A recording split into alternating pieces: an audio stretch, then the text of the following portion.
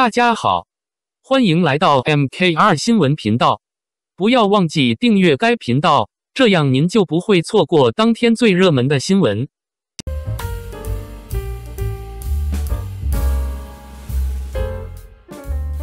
你比星光美丽热播引发热议，粉丝热捧许凯的霸总形象完美无缺。徐凯凭借《承欢记》和《你比星光美丽》成功稳坐霸道总裁角色的席位，而魏大勋则凭借在我的人间烟火中饰演的孟宴臣一角大放异彩。两位演员各具特色，展现了不同的魅力。徐凯起初以模特身份出道，演技逐步提升；而魏大勋则凭借精湛的演技改变了观众对他的看法。今年《承欢记》和《你比星光美丽》的热播，进一步巩固了徐凯在霸道总裁角色中的地位。而去年《我的人间烟火》虽然口碑不佳，但为大勋饰演的孟宴臣却在一片差评中获得了观众的好评。近几年，作为年轻且有流量的演员，徐凯出演了不少影视剧。他凭借出众的外貌和体型，深受观众喜爱。与此同时，魏大勋凭借出色的演技和幽默感，也逐渐被观众熟知。尤其是在去年《我的人间烟火》中，尽管剧情不尽如人意，魏大勋依然凭借出色的演技爆红。一九八九年出生的魏大勋和一九九五年出生的徐凯，近年来在影视剧中都塑造了不少令人印象深刻的角色。然而，在饰演霸道总裁这一角色上，两位演员各有千秋。二零二四年播出的《承欢记》和《你比星光美丽》中，徐凯饰演的都是霸道总裁角色。在《承欢记》中，他饰演的是一位留学归来的成功人士；而在《你比星光美丽》中，他则饰演了一位医疗公司的总裁韩婷，与十年前暗恋的纪星由谭松韵饰演重逢。两人之间发生了一系列感人的故事。无论是在《承欢记》还是《你比星光美丽》中，许凯饰演的霸道总裁角色都展现出高智商、高学历、外形帅气且专情的形象。他在剧中的表现，冷静沉着的商业头脑和深情款款的感情戏，都能够准确传达给观众，令其形象深入人心。徐凯起初以模特身份出道，凭借自身优越的条件，在现代剧中的造型非常帅气。尽管他并非科班出身，演技起初略显稚嫩，但通过不断的努力，他的演技也在逐步提升。除了现代剧中的霸道总裁形象，他在古装剧中也有出色表现，如在《延禧攻略》中饰演的富察傅恒，让不少观众心生不舍。徐凯还在《烈火军校》中饰演了顾燕珍，在《凤求凰》中饰演沈玉，在《离歌行》中饰演盛楚木，这些角色都展示了他的多才多艺。与徐凯优越的外形不同，魏大勋近年来凭借出色的演技赢得了观众的认可。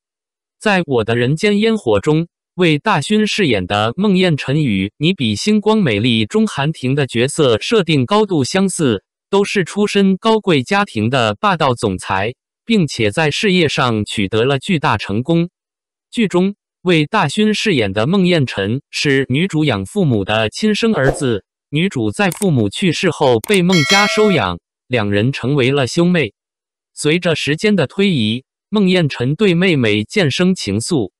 尽管孟母极力反对，但孟宴臣始终以哥哥的身份守护在女主身边。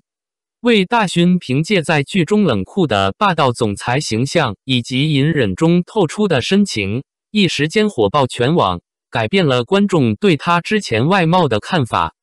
魏大勋曾在一档综艺节目中提到，有人评价他的容貌不适合进演艺圈，但在我的人间烟火中，他让观众看到了一个不一样的自己。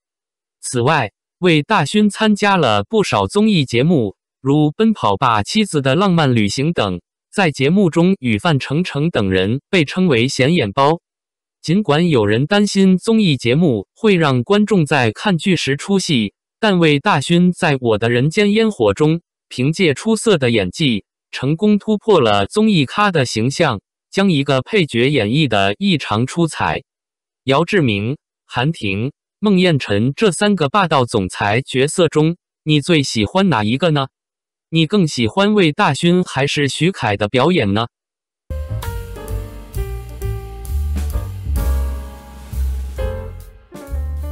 谭松韵的剧集无一不火，九零后小花中无人能及的扛剧女王。谭松韵凭借清新甜美的形象和高质量的演技，赢得了观众的喜爱。她主演的电视剧在口碑和收视率上双赢，成为九零后小花中的佼佼者，并展现出巨大的转型潜力。谁是流量的顶尖人物？谁是作品表现最佳的小花？这些一直都是网友讨论九零后小花格局的热门话题。随着赵丽颖等八五后小花们逐渐开始转型，减少了作品输出的频率，以杨紫、迪丽热巴为代表的九零后小花们顺势登上了主舞台。在这些九零后小花中，谭松韵无疑是一个特别的存在。她的人气和热度虽不算顶级。作品资源也较为一般，但却总能带给观众惊喜。尤其是在新剧《你比星光美丽》再次火爆全网，甚至在某些方面超越了杨紫的《长相思二》的情况下，谭松韵的作品总是大火。她与任何男演员都能产生强烈的 CP 感，展现出强大的扛剧能力，是九零后小花中独一无二的存在。作为九零后小花的一员，谭松韵凭借甜美的五官、清新的气质和一张娃娃脸出圈。自出道以来，她不断为我们带来许多优秀的作品。即使她手握《亲爱的麻阳街》以家人之名等口碑代表作，但与杨紫、迪丽热巴、白鹿等人相比，谭松韵在人气上还是逊色不少。相比杨紫。迪丽热巴等人的各种大女主资源，谭松韵的资源较为平淡，很少成为大众热议的焦点。但谭松韵的奇特之处在于，不论是人气、热度，还是相关剧集配置，甚至在没有任何一部绝对大女主剧的情况下，他主演的作品却总能成为当季的黑马，实现收视和热度的双丰收，屡屡给观众带来惊喜。众所周知，杨紫、迪丽热巴等人能够一部剧火一部，自身超高的流量属性显然起到了非常重要的作用。由于杨紫等人的地位，他们主演的剧集总能网罗一套非常豪华的主创班底，使得剧集具备非常强的竞争力。谭松韵早期合作的男演员中，除了任嘉伦和徐凯外，几乎没有一个真正的流量小生。《民初奇人传》里的欧豪，亲爱的麻阳街里的许魏洲，锦心似雨中的钟汉良，归路中的景柏然等，不是刚刚转型的爱豆，就是人气不在巅峰的演员。即便是以家人之名中的宋威龙和张新成，当时也还没有足够的实力和人气。但以上这些剧集却都有着非常优秀的口碑，各项成绩也都排在同期作品的前列。担当女主的谭松韵，不论是古装、苗服，还是都市造型，颜值都非常出众。在角色诠释上，她总能展现出高质量的表现，给观众留下深刻的印象。正是因为谭松韵出色的个人表现，以及不断积累的口碑和路人缘，这些纸面实力一般的剧集，才能成为各个档期的黑马。即便是在事业高峰期。谭松韵获得的资源也不过是《请叫我总监》和《向风而行》这样偏向都市职场的剧集。他合作的演员也是重新搞事业的林更新，以及原本就走实力派路线的王凯。最后的结果大家都清楚，《请叫我总监》成为了都市剧黑马，《向风而行》成为了行业剧的标杆。谭松韵再次以出色的个人表现，成为了最大的功臣。现在合作徐凯的《你比星光美丽》再次成为了暑期档最大的黑马，在收视率、热度和口碑等各个方面都表现出色。谭松韵无疑再次证明了自己强大的抗拒能力。谭松韵能一部剧火一部，不论男主是谁，都能展现出足够的 CP 感。这一方面是因为她甜美清纯，能适配各种类型的男主。在当下男演员普遍身高幺米八的情况下，娇小的谭松韵总能与之形成萌萌的身高差。尤其是在霸总和小白花的设定下，相关的 CP 感更是非常强烈。另一方面，谭松韵在长时间的积累下，已经拥有非常纯熟的演技。她对于角色的表达总能以自然且舒适的方式呈现，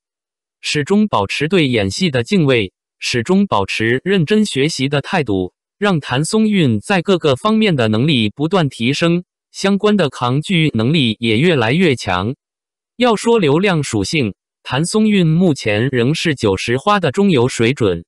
但要说作品质量和成绩，谭松韵已然排在同期小花的前列。谭松韵的抗拒能力不是来源于所谓的人气带来的流量，而是凭借自身的表现以及与角色的高适配度。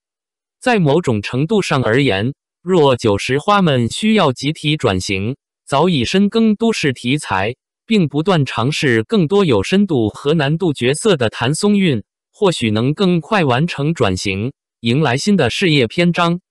感谢您观看视频。如果您觉得这些时事通讯有帮助，请不要忘记点赞、评论和订阅。